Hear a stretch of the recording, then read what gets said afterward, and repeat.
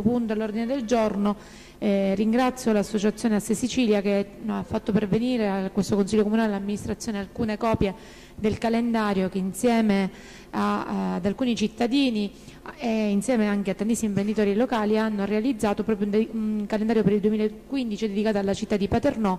eh, che raccoglie appunto le foto di diversi amanti della fotografia che, che con i loro scatti appunto hanno voluto ehm, hanno voluto porre l'attenzione di tutti i monumenti, i paesaggi naturali e le feste, quindi grazie anche a nome dell'amministrazione per i calendari che sono qui. Detto questo,